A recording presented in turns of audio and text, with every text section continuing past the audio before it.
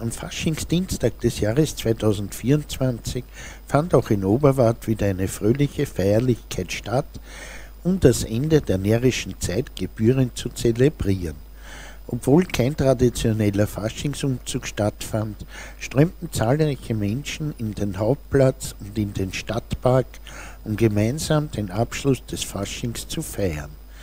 Trotz des fehlenden Umzugs herrschte eine ausgelassene Stimmung und die Besucher, ob kostümiert oder nicht, genossen das Fest in vollen Zügen.